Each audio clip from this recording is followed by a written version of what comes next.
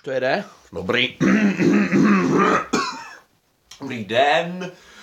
Moje jméno je Jakub, jsem učil angličtiny a jsem charakteristický až nechvalně známý tím, že vysvětlu angličtinu poněkud zábavnou až trapnou formou, jak říká moje přítelkyně někdy.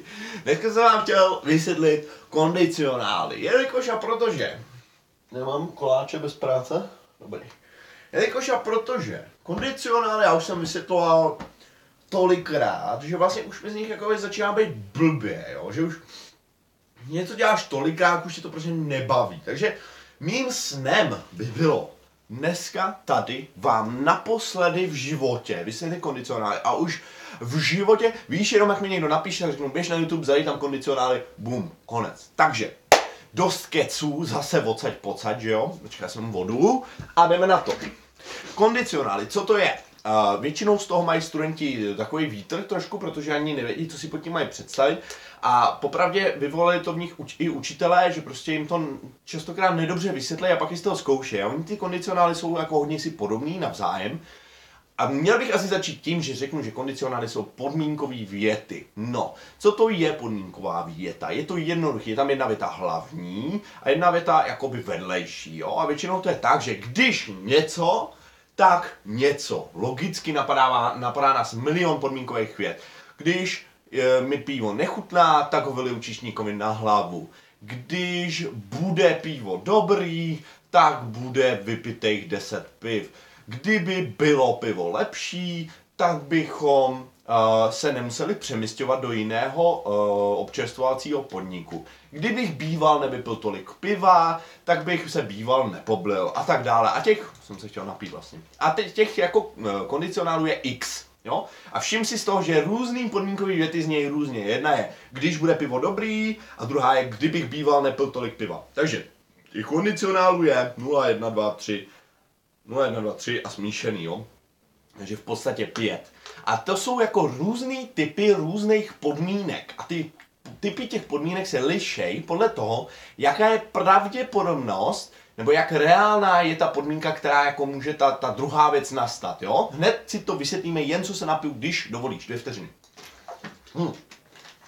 Ty kondicionály jsou tak hezky seřazený, jo, od toho nultýho až po ten třetí, nebo ten smíšený. A, čím jako se postupuje dál, tak tím jako klesá ta pravděpodobnost nebo reálnost toho kondicionálu. Čili nultý kondicionál, to je hrozně jednoduchý, to je takzvaný, jako taková, takzvaná zákonitost. Jakože vždycky, když nastane jev A, tak nastane jev B. Vždycky, když je pátek, jdeme na pivo. Vždycky, když vypiju sedm piv, já budu dneska dát jenom pivní příklad, jo. Vždycky, když vypiju sedm piv, musím se jít vyčůrat. Vždycky, když nezaplatím za pivo, utíkám a tak dále, jo. Když se stane tohle, tak se stane i to. Já dám příklad třeba i mimo pivo, jo. Jako třeba, já nevím, když mám hlad, jdu se najíst. Když nemám peníze, jdu do práce. Jo, prostě když A, tak vždycky B. Na tom se nedá nic posrat, protože v angličtině tam strkáš do obou vět přítomný čas. Stejně jako v češtině. Něco vybruje. Bude asi něco vedle. Dobrý. Bě- video pořád běží. Pořádku. Hm. Nultý kondicionál je teda easy business. Prostě zákonitost, když to, tak to. Tam se nedá nic posrat. Kde se ale dá něco posrat, to je první kondicionál. To už totiž není e, zákonitost, ale je to jako, že když bude se něco dít, tak se možná něco stane. Čili, abych použil definici učebnicou, je to reálná možnost budoucnosti. Jakože může se něco stát, když uh, nastane jev A, tak možná nastane jev B. Jo, jednoduchý. Logicky, učebnicově nejčastější. Když bude pršet, zůstaneme doma. Když bude sluníčko, eh, půjdeme ven, jo. Když budu mít čas, půjdu na pivo, jo. A tam se hodně chybuje. Tam Češi mají chuť logicky dát budu, čili will, v, v obou větách. Ale v angličtině je taková jedna vymrdávka trošku, takový vošklivý pravidílko, který si musíš jako na ně myslet, že za if nebude budoucí čas v téhle podmínkové větě. Za if v podmínkové větě bude přítomný. Přestože je řeč o budoucnosti, nedá se nic dělat, čili ne if it will be sunny, ale if it is sunny. Přestože mluvíme o přes příštím čtvrtku, jo? Nebo třeba, když to pivo do, bude dobrý, zůstaneme tam. If the beer, a teď neřekneš will be good, ale řekneš if the beer is good. Prostě se s tím smíř. Řeč o budoucnosti je reálná možnost budoucnosti, ale za if dáváš will, uh, will, jo?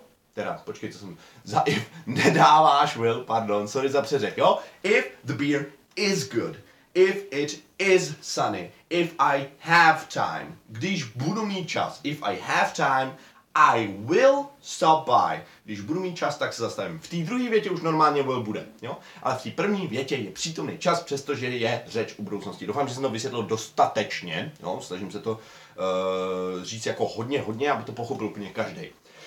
Takže, nutý kondicionál, zákonitost. První kondicionál, reálná možnost budoucnosti a teď druhý kondicionál, je nějaká nereálná nebo nepravděpodobná možnost. Jo? Všimni si, že ta pravděpodobnost takhle klesá. U druhého kondicionálu uh, je ta pravděpodobnost třeba 1% maximálně. Jo? Je to něco, s čím moc nepočítáš. A v češtině to vyjadřuješ slovem jako kdyby. Jo, jako kdybych měl víc času, jakože nemám. Kdybych byl vyšší, jakože asi nebudu vyšší. Nebo kdybych byl žena, nebo kdybych byl tebou, nebo kdybych byl miliardář. Jednoduchý. A tam se v angličtině taky hodně chybuje, uh, protože Češi mají chuť říkat if I would be. A to je špatně. Za if zase nebude would, jo, který jako Čech tam má pochopitelně chuť tam strčit, ale dáš tam jenom if a minulý čas. Čili tohle je druhá věc, na kterou by si měl u kondicionálu dávat pozor. Jo? If I was rich. If I had a million dollar, dollars. Jo? Neřekneš if I would have, to je špatně. Protože logicky to if už sobě obsahuje to kdyby. A ty už tam nemusíš strčit to would, který znamená by. Jo? Nechci říct kdybych bych. Ty chci říct jenom if, což znamená kdybych, a had, jakože měl. Kdybych měl. If I had. Jo? Ne if I would have. Ono to není až tak složitý na pochopení. Složitý je si na to potom myslet, takže doufám, že si píšeš tohle toho poznámky, abys byl dobrý. Jo? Takže if I had a million dollars a v druhé větě už je normálně I would buy Pilsner Urquell the brewery. Koupil bych si celý pivovar. Jo? If I had, I would. If I was, I would. Easy, špízy. Jenom si myslím na to, že tam není if I would be. A ten třetí kondicionál, to je takový, co jako studenti hodně nemají rádi, protože to je takový to, kdybych býval, nepil tolik piva, tak bych se býval večer nepozvracel. A to jako už není jednoduchý na poskládání, protože vlastně je to podobný tomu druhému kondicionálu, tomu předchozímu, o kterému jsme teď mluvili, ale je ještě celý jako zasazený do minulosti, jo. Hm. Takže, pojďme se na to podívat, jo. Kdybych býval, to, co bylo před minulostí, se v angličtině vyjádří pomocí před minulého času, logicky. A ten se tvoří pomocí had a třetího tvaru slovesa. To není tak složitý. Doporučuji ti si opravdu to asi napsat, jo, abys to pochopil co nejlíp. Jak si to napíšeš, tak to uvidíš. Kdybych teda býval tolik nepil. If I, a teď třetí tvar slovesa a uh, teda had a třetí tvar slovesa. If I had not drunk so much, if I had not drunk so much. A v té druhé větě je, tak bych se býval pak nepozvracel. I would not, a celý je to v minulosti, takže musím říct, I would not have thrown up. Jo? Would, když je v minulosti, a i jiný monální slovesa, když jsou v minulosti, tak se vážou s tím have a třetí tvar.